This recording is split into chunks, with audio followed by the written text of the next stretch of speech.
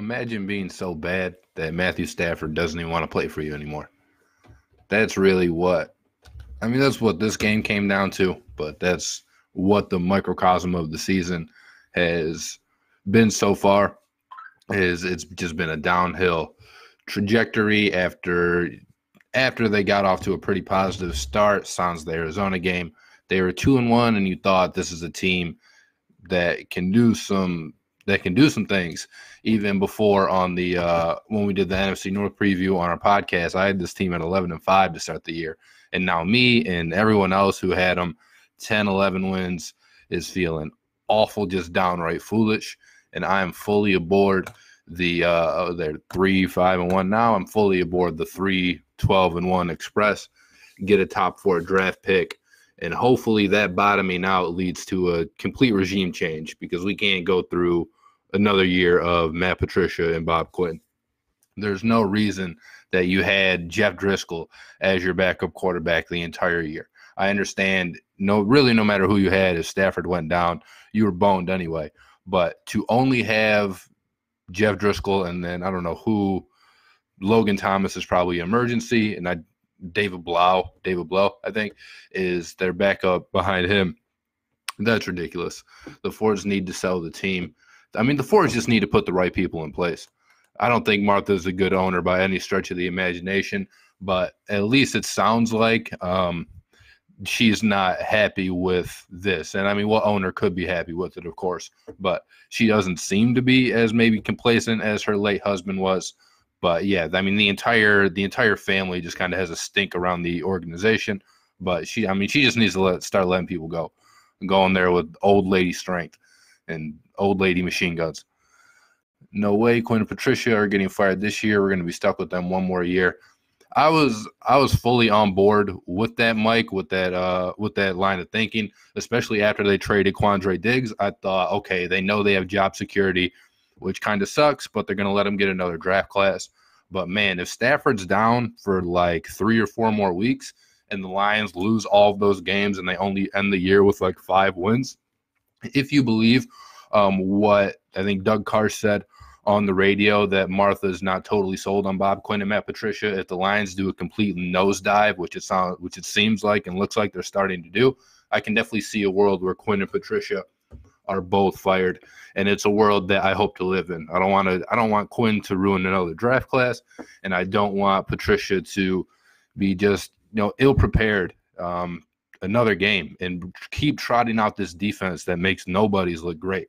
You know, Kirk Cousins isn't a terrible quarterback, but against the Lions, he looked like he was Peyton Manning.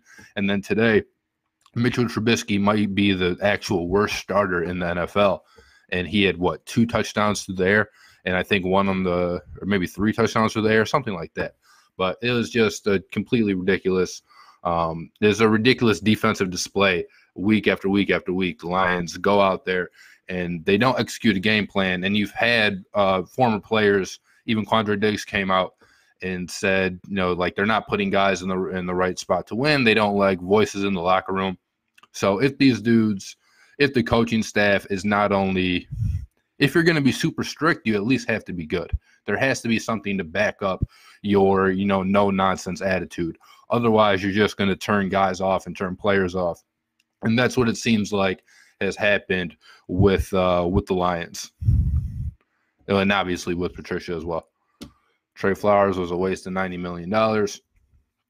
Yeah, I like so I, I like the pickup when they made it because they're just kind of adding to their strength, which should have been the defensive line.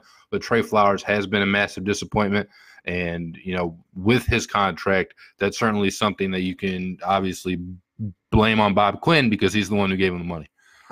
Michael Webb let Maddie go to a real team. I'm all behind trading Matthew Stafford, not uh, not because it's any you know um, not because it's any slight on Stafford, but only because that'll help the Lions get some draft picks. And Matt uh, Stafford is a guy that deserves way better than what we've been his entire career. Very disappointed in Trey, the entire defense as a whole. Yeah, Josh, and that's definitely the biggest indictment on Matt Patricia is he was brought in here to fix the fix the defense. You know, your thinking is if you have a quarterback who's as good as Stafford is, the offense, at least on some level, is going to be at least okay. And if you have an okay offense and then you bring in a guy who's supposed to give you an elite defense, he's supposed to, you know, cook up these defensive schemes that just have offenses in a tizzy. And you bring in a guy like Matt Patricia who's supposed to do that. And then, you know, the defense just, it seems like it gets worse every week, which every week it doesn't seem possible. And then you see, you know, worse players tear up the defense. You see bigger holes in the secondary and you see guys just running down open free, and you still see dumb penalties like you see every week. And it just doesn't seem like there's any positive, uh, positive progression on the defense. It's all just regression. Paul says we need to draft a quarterback this draft next year. I'm, assuming you're talking about the upcoming draft. I'm certainly for that. I thought they should have. Well, I thought they should have got a uh, backup from this draft class and maybe today would have gone different. Although Driskel's probably better than any of the rookies that the uh, the Lions would have picked. But yeah, I mean, we're again no slight on Matt Stafford at all. But at a certain point, it's going to be time to move on. And if you do a complete regime change, as much as I love Stafford and as good as I think he is, I'm sure any NFL GM is going to agree Stafford's a great quarterback. But at some point, you have to see what you can get for him because you know that you're not going to go anywhere with him. Again, not an indictment on him. It's just an indictment on how terribly run the franchise has been. And you know there are other franchises who will pay a hefty price because Stafford could be that piece that ends up putting them over the top. The owner of Amazon, Jeff Bezos, just made it known today he wants to own an NFL franchise. That'd be cool. I mean, they're starting to put all those uh, those Amazon warehouses in where, like Hazel Park. Um, I think they also opened one up in Detroit a, a couple uh, a couple months ago. So maybe Jeff Bezos is playing the long game. I wouldn't mind that though. I mean, j- just new, really. Not that I think he'd be a good NFL owner, but if you can, you know, put the right people around you, why not? If you can build Amazon, you can build the Lions. Please get a running back. That won't hurt. I mean, who went down today? It was, it, it wasn't Perk. Oh yeah, Ty Johnson went down today, and they had I mean, they've had they tried a couple running backs at least, and just none of them worked out. Obviously, Kerryon has his injury issues. They had C.J. Anderson to start the year, and then ended up cutting him because he was no good. I think Tra Carson got hurt. Uh, Ty Johnson got hurt, and he looks. I mean, Ty Johnson at least looks good. Who else? They had uh, Jerry McKissic. So there's a couple different guys. I'm not sure how much a better running back helps you out as opposed to just getting that offensive line right. Because I do think that with any of the running backs that they could have gotten, you don't just have like six terrible running backs for your team on the year. And no, these guys aren't like Christian McCaffrey or anything like that. But if you fix the offensive line in front of them, you can get better production from Kerryon. You do need somebody that can help Kerryon um, balance the workload, though, because if you try to run them, you know, 20, 25 times a game, Kerryon's not that workhorse back, and he's just going to get hurt. I noticed that Tavai was calling the D today. Davis played significantly less. This is finally the end of Jarrad Davis. Let's hope so. And that was one of Bob Quinn's biggest gaps. But if they can move the, uh, you know, pass the torch kind of proverbially from Jarrad Davis to Tavai, and I mean, Tavai's been better than I thought he'd be coming in. I still think you need a lot of help in that linebacking corps, though. And I do hope that we see a linebacking future that uh, that does not include Jarrad Davis. There's, so many plays he just misreads. He's a great athlete and he's super fast, but he's, he's he doesn't do anything else. He's just flying around to the field, always missing his spots. Which I mean, some obviously sometimes because he's so fast he can get there, but he he is out of position way too often. Suggs, you get Terrell Suggs, get T Sizzler, Ball so hard university. If we don't have Stafford, who's going to want to take the head coaching job is the only problem. I mean, there's only 32, uh, 32 head coaching jobs in the NFL. And shout out Nick Harris anyway, my boy. But uh, I mean, there's only 32 of those jobs in the NFL. So I don't know who you can get that and there there are other jobs that are going to be open that are better than Detroit's. Like uh, you probably even see Matt Nagy fired, so the Chicago job be open, and there are a couple jobs you'd rather have than the Lions. But there's not a lot of uh, there's not a lot of head coaching candidates out there that are just downright uh, turning down NFL jobs. We have a really good offense this year under Bevell. Defense seems to be getting worse under Patricia. If I'm the Lions, I'd fire Pasqualoni. I'd fire Pasqualoni too, but because I would fire everybody else. And it's probably, you know, unfair to fire Bevell, given that the offense has like better under him. But Bevell doesn't come without his criticisms either. In the games where the Lions had the second half leads, they put up the graphic today. It was like five of, I think, in their all in their first five games, they were leading with you know two minutes left to go in the game or something. Um, Bevell's had Bevell's had shortcomings this year where the offense wasn't as aggressive in the second half. But I want Patricia gone and I want Bob Quinn gone. So if you're going to fire Patricia and Bob Quinn, you know you can't have the new staff. Hey, you have to keep this offensive coordinator. At least, at least you shouldn't. I get you know theoretically you could do whatever you want, but I think Bevell would just uh, more or less kind of be a casualty here, which would be unfortunate for him. But uh, you know he'll he'll find another job. Pasqualoni he'll he won't find a job as a coordinator anyway. Maybe a specific uh, defensive line coach or something. But I don't I wouldn't see Pasqualoni ever getting a job as a full time defensive coordinator again. Dustin said these losses are fully on Patricia. He uses the game clock so poorly and never throws a challenge. The whole team needs a full rebuild. They need to dump and acquire picks. I agree with about half of that. I don't think the losses are fully on Patricia, although I don't think that Patricia's a, a good coach either. But it's really hard to blame 100% of loss on any coach ever because obviously at the end of the day, the players are the ones out there playing and the the penalties that the players commit those can be a result of poor coaching but it's still it's still the players doing that. It's still the players jumping off sides. Um, you know in some of the losses like the green bay loss obviously not to harp on it but you have other uh, other things that um, that can factor in you know, like the officiating um, you know and just uh, kind of guys making making great plays but Patricia's bad. I do think they need a full rebuild though. So I'd be totally fine. That's why I said, you know, I know a lot of people have joined on since we first started.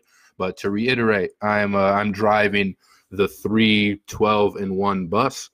So anybody that wants to hop on board, get on now. Is hope they lose the rest of their games, get a top four pick, and buy you know bottom out, fire everybody, let a new GM and a new coach come in here, and you know at least start their start their full rebuild with an uh, with an elite player. Dustin, it starts at the top. Absolutely, it starts at the top and trickle, trickles all the way down. And you know, you heard it from former players that were here, even under this regime, who really hasn't been there that long. Uh, you know, Matt Patricia is two years. I think Bob Quinn is at four years, and there are ex players coming out that have said basically they don't like the way that uh, that everything's run. And that's obviously an indictment on on what starts at the top the management the coaching um, you know obviously trickle trickling down and giving you what you see on the field. How do you feel about Bevell's offense? I really like it. They're letting them sling it but still no run game. Any chance Bevell will be would be considered for head coach. I like Bevell's offense. The one the one criticism that you know I've heard a lot, and it's a very fair criticism. It's one that um, on on our Sports Carnage podcast, uh, Paul Roshan, who who's obviously one of the one of the other guys on the podcast with me, you know, it's it's something that he harps on and he's absolutely right about it. Is you know you Bevell tries to run the ball too much, and we don't have we just don't have the personnel for it know, he was able to run the ball well in Seattle because he, you know, always had a stable of good running backs and he had an offensive line that was at least capable of run blocking. And back when he was there, Russell Wilson ran a little bit more than he runs now. And when he was in Minnesota, obviously he had Adrian Peterson back there and a better offensive a better offensive line than what the Lions are working with. So we don't have a back, of course, as good as Marshawn or Adrian Peterson, and we don't have a quarterback as mobile as Russell Wilson because in Seattle those offensive lines weren't in they, they weren't even really average, you know, by NFL standards. At least not for not for kind of the last few years that uh, Russell Wilson has been there. But they were still better than what the Lions are working with, and they obviously had a quarterback that can make things happen on uh, plays that weren't designed runs. And now you know, you just keep they keep trying to run the ball probably a little bit too much. And I understand not wanting to be one dimensional, but at the same time, the the league is set up to where you know you can have great success in the passing game by throwing the ball 40 45 times uh, because of the rules because defenses obviously aren't allowed to play as tight as they used to be and if you throw it that many times you even saw it today where you're going to get uh, defensive holding penalties um, some defensive pass interferences things like that and obviously you have a top level quarterback that's able to get the ball out with the with the receivers and weapons that you have. You know, even if TJ Hockenson's been a little bit of a disappointment, he's still a guy who, for, you know, one play a game is able to get you like a 25, 30 yard catch. And then you can work some of those running backs out of the backfield. Ty Johnson, Kerryon. Um, you know, JD McKissic is uh yeah, Jerick McKinnon and JD McKissic. But those are guys that you can, you know, throw the ball to and just with like by their athleticism and speed, you can make something happen. Bob says bring in Happy Gilmore. And we couldn't be worse. Any and then for the second part, any chance Bevell would be considered head coach? Uh, that's kind of something I started to think about during the game when you're talking, or you know, just kind of when you're thinking of like, hey, this these guys need to be fired. You know, it's really time for a regime change. I thought, why you know, Bevell's had a track record of um, of success where he's gone. I don't know how good of a head coach he would he would necessarily make. And the thing with Bevell that would scare me as a head coach is just kind of what we talked about is if he's still trying to run the ball when there's no sense in running the ball. And you even saw last week when they had the the fourth and one play on the goal line and you know all the all their best players essentially were off the field. So that's what would scare me off of um, off Darrell Bevell being the head coach, and I would I wouldn't like to see it. What happened to Slay? Um, I'm not I'm not sure. Does Slay get hurt? I mean, Slay overall has had a pretty decent year, a, a better year than he's had last year. But I didn't notice. I didn't. At least I didn't notice any type of um like injury or anything. So, uh, injury sustained today. Um, or you just mean like he was a he was no show or he didn't play or something? Eddie Gage said, "I hate for the Lions to move if they get a new owner. New owners tend to do that from time to time. Yeah, it's something. Uh, that's something that we we brought up on our podcast as well. If the Lions did move, would you follow them or would you support the new team that's in Detroit? Because if there was, if if the Lions moved, I have no doubt that Detroit would get a new football team because we have, you know, all three of the other major sports. And it's it's still a good football city. The Lions are far and away the most popular team in the city, and they're the team that everybody um, loves and obviously hates the most.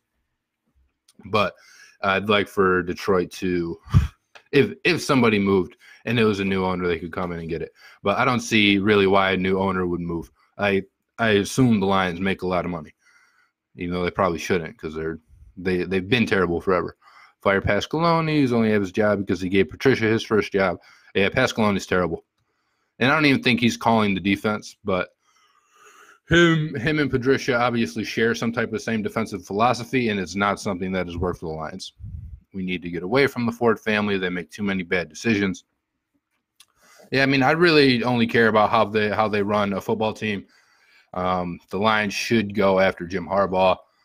They they probably have before um, when they hired Patricia. I'm I'm going to assume they at least made a call to Harbaugh.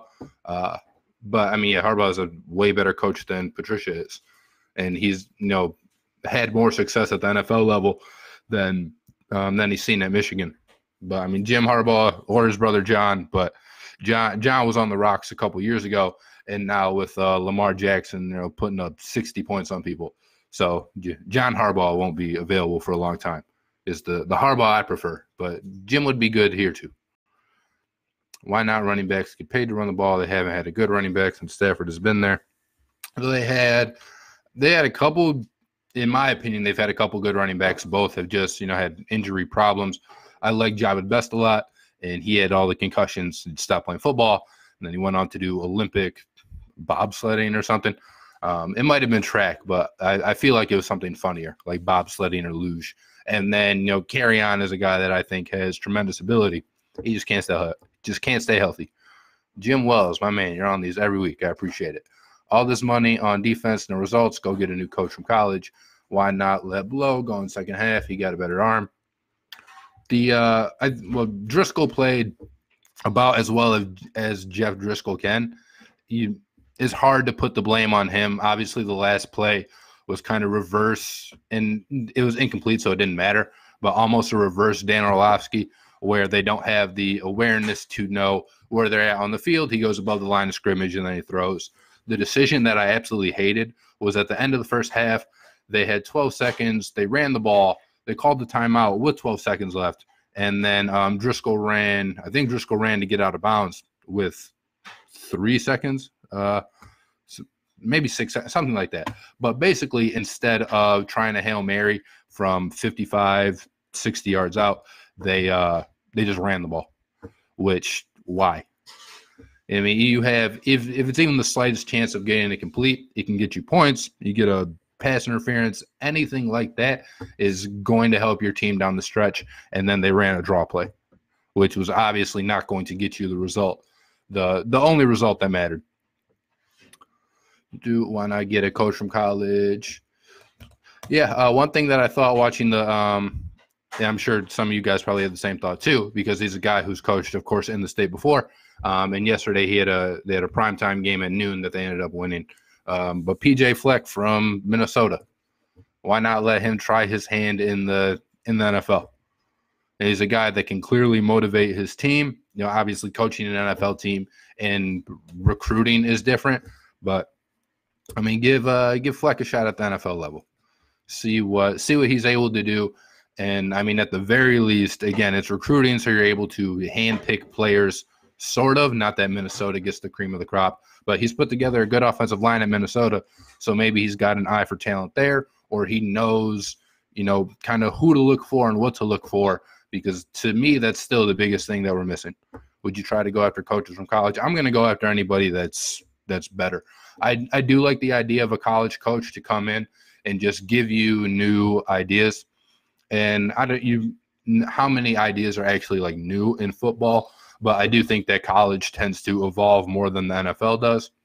So I like the idea of getting a new or a coach from college as opposed to somebody who's kind of been in the NFL circles if you're going with a total and complete rebuild.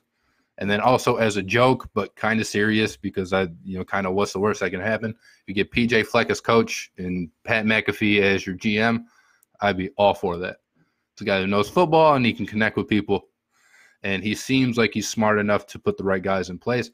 It's probably not something that at least McAfee's interested in though. He's doing all of his all of his media stuff, and his he, he just seems like someone who likes to talk a lot.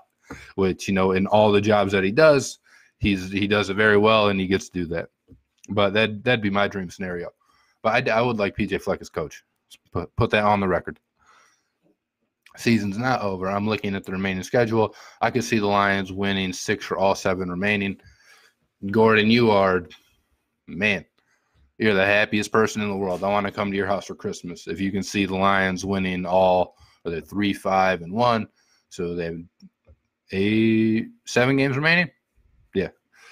If you can see the Lions running the table and winning all seven of their games, then God bless you. Brendan Levere looking forward we have to draft a QB second round and fire the defensive coordinator. Anything after that is a plus. Figure it out. I think we have to fire everyone, uh, not just the defensive coordinator. And it doesn't even start with the defensive coordinator, but they, they do have to fire everyone. Jim Wells, Stafford out four weeks with the broken back. Yeah, so um, I've heard it was like three weeks, but that, at that time it was more speculation than anything that I've seen concrete. Um, I I mean, it, at this point, because of what I want to do, I want, like I said, the Lions 3 12 and 1 express. I want them to lose the rest of their games, get everybody new, get a top draft pick. So I'd be in favor of shutting Stafford down for the rest of the year because that's going to help. That would help me accomplish what I want the Lions to accomplish, which is just losing all the rest of your games. And obviously, at this point, the Lions probably would have to win out in order to sniff the playoffs, or they'd have to win six of their last seven. It's a very, very unrealistic scenario with Stafford probably already being out, you know, three or four weeks moving forward anyway. It's, to me, it doesn't make sense to play Matt Stafford. any anymore this year. You let them get fully healed and come back next year, and you know just work with n- new people, and maybe get a maybe even get a better um better view of the offense from the uh like from the sideline, because you know sometimes that helps players when they're able to view it kind of how a coach does view it. Why do they continue to play prevent defense? We had success blitzing in the first half. They don't have the personnel to run New England's defense. Well, I mean, that's exactly why, is because that's really what Patricia's based his uh is what he based his time in New England on. And even at his end in New England, yeah, they went to the Super Bowl, but that entire season their defense was bad. And since he's left, their defense has gone way up in terms of um, you know, in terms of like efficiency, turnovers, talent, and now they're just not and now they're not giving up points. But that's that's always been kind of Patricia's philosophy is if you bend and don't break, and part of it, at least to me, was you could play that in New England and you can play the whole the other team to a field goal defense because you had Tom Brady and Rob Gronkowski and Bill Belichick on the other side, um, helping you out and scoring those points. So you can trade three for seven. With the Lions, obviously, you're not getting seven every time down. So instead of getting those stops and flipping field position, if you're giving the other team three, three, and then seven, and you yourself only scored six in that time frame, then you know you're down a touchdown and like you're giving the ball back. So you can't play that same style here because we we just have worse players than the Patriots do. Do you think they should put Stafford on IR at this point? So uh, yeah, Mike, I do. A four weeks, Green Bay losing zero to seven. Well, there's good news. We made Mitch look like the MVP and we made Mitch look great. We made Stafford look great, and uh, you know, somehow we were able to shut down Mahomes as you know well as we did, and then we let these scrubs come in and absolutely destroy us. I mean, we let um, is it David Carr, Derek Carr, Derek Carr look uh, good against us too. Martha needs to sell the team. There's yeah, there's a lot of that going around. Top five offense did less defense. Defense wins championships. And your game plan is to rush three guys. That's so stupid too. How do you ever expect to get pressure rushing two, three? Um, like, and if you don't get pressure, you're not going to win in the NFL. The quarterback's going to have too much time, and we talked about it a little bit earlier. It's just the way the game's designed. You give the quarterback more time, you're not allowed to play as as aggressive a defense. So the receivers are bound to get. Harbaugh would not be a good fit with the Lions. I think Harbaugh would be a good fit anywhere in the NFL, truthfully. But if I don't, I don't see Harbaugh wanting to leave Michigan though. Except every year you get reports of, hey, you know, Harbaugh's eyeing to come back to the NFL, and Harbaugh sends out a letter saying our enemies are trying to tear us down or something. If you can run the ball, you can keep your defense off the field. You can, and the Lions cannot do either because they can't run the ball. Belichick is laughing at all teams that pick up players and coaches that he's done with. Yeah, the Belichick tree is is very rotten. So it's got it's got a great core, right? And like the healthiest the healthiest actual wood on it, and then all the branches from it are just it almost seems like they're cursed. And they're all dead before dead before they hit the ground. Nothing's going to change until we get owners who care. See, I, th- I think Martha cares. I just don't know how good she is at identifying people who can identify football talent or people who can put that in place. I think she has, you know, advisors who say, "Hey, Matt Patricia's a guy who comes from New England. He's a really good fit." Uh, Bob Quinn was part of their scouting and drafting department. You know, he's a really good fit, and I think she, you know, takes obviously that advice from from them. I think she wants to win. She just doesn't know how. Flex signed seven year with the Gophers. Yeah, he he did. I mean, there's always, of course, a buyout, and Mar- Martha's got the money to buy him out. So I, I hope she'd pay up for that. But like I said, that's my dream. It's probably a pipe dream. I don't see Fleck getting poached for the NFL at least this year. But and I'd, I'd love to welcome back welcome him back to Michigan. There's a young guy, and if he works out, then he's your coach for you know 15 years. Um, and if he doesn't work out, you know, obviously you kind of push the reset button again. But I like the idea, like I said, of getting someone with some um, with some newer ideas and guy who's seen. Um, I, I even like people who've seen the college game at that level because then they know that you know they're more in the know than even like NFL uh, scouts just because they're around the game so much. bring back Caldwell. Caldwell's better than uh, better than Patricia. Because I didn't I didn't like Caldwell either. The coach has to go. Yes, this will give Patricia another year. If Stafford is out the rest of the year. Yeah, that's been a conspiracy that's kind of been floated around um, within just the like the media here and the fan talking cycle is if the Lions end up sitting uh, Stafford the rest of the year, that that'll buy another year for Patricia and Quinn because you know you can sell it as well. Hey, our quarterback went down, so we weren't able to do anything. I I don't think that's the case though. If they do bottom out, you know, if they win five or six games, I th- I think everybody's going to be gone, and I I hope that's I, I, hope that's the case. But it's also what, like I said, uh, what Doug Karsch has at least gone on record and said he expects to happen too, based on conversations he's had, and he's obviously way more plugged in than I am we should trade Stafford in Dallas for one of their linebackers and give them a chance to win a championship. That's been floated a lot too. I think Dylan and Dylan's mentioned that a couple times on our podcast. I would have loved to trade Stafford a couple years ago when Romo was hurt, and you could kind of tell it was the end of Romo's career. But now, I mean, they have they have Dak Prescott, and it seems like Jerry Jones really loves Dak Prescott. If I'm Dallas, I'm taking Stafford ahead of Dak, but if they go out and they give Dak, you know, 38, 40 million dollars a year, there's of course no way that they're trading for Stafford and the remainder that he has on his contract. But the next couple years, and here's kind of where Dallas might be thinking, and you know, we we of course hope they are if they're going to take Stafford off our hands. Is I was looking at the numbers the other day, and Stafford's under contract until he's he's 31 right now, and he's under contract until he's like 34. Um, so the Cowboys want kind of this three year window where they they'd actually get Stafford at a deal cheaper than whatever they would pay Dak. So you're going to save cap there, and you're going to get an instant upgrade at quarterback. The only uh, difference to them is obviously then after the Nefford Stafford's contract is up, you're probably drafting a quarterback. Um, and who who knows if they want to do that? I hope they do though. And if I were them, I would go go get that window. Have Stafford, Zeke, Amari Cooper. Um, you know, just kind of mortgage mortgage your future for the Super Bowl that um, that Jerry Jones needs because he's he's an old man, and hopefully, and obviously, we don't wish um we don't wish anything to happen to him soon, but his his better years are definitely behind him. Trading Stafford is not the answer. He'll deny the trade because he wants to win Detroit. Stafford have a no trade clause?